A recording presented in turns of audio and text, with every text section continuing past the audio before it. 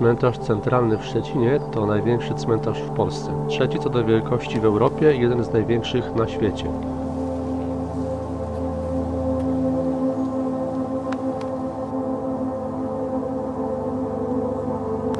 Od jego otwarcia pochowano na nim ponad 300 tysięcy zmarłych, a dzisiejsza powierzchnia wynosi 172 hektary.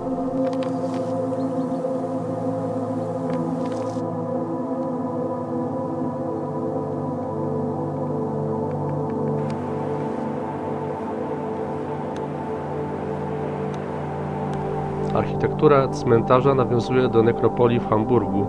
Widać tu połączenie kilkunastu krajobrazów ogrodowych.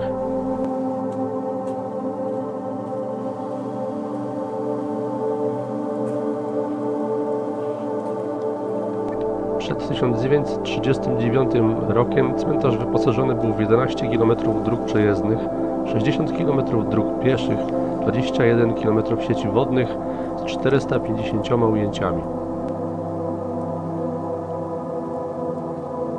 Cmentarz centralny to wielki park i ogród dendrologiczny. Występują tu liczne gatunki obcego pochodzenia, w tym m.in. z Ameryki Północnej jodła, świerk, sosna, klon srebrzysty i z Azji żywotnik japoński, modrzew orząb dwudzielny.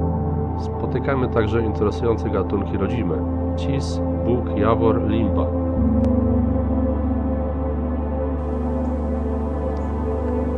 Po 1945 roku nekropolię kilkakrotnie powiększano.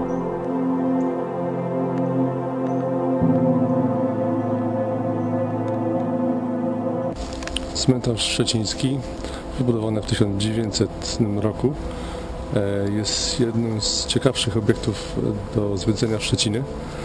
Mm, Na ogromnej powierzchni posadzono kilkaset e, rodzajów drzew i krzewów.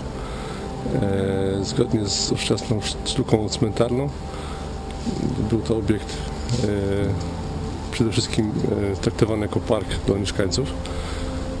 Na tak dużej powierzchni nic dziwnego, że nawet szczecinianie potrafią się zgubić. Trzeba kilkunastu godzin, żeby odnaleźć wszystkie ścieżki.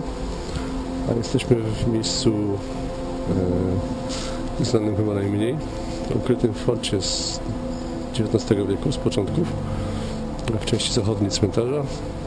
Był to fort ćwiczebny e, wojsk niemieckich. E, praktykowali oni, jak zdobywać tego typu obiekty. Można wejść do środka, są e, tutaj zasypane wejścia, które e, można eksplorować.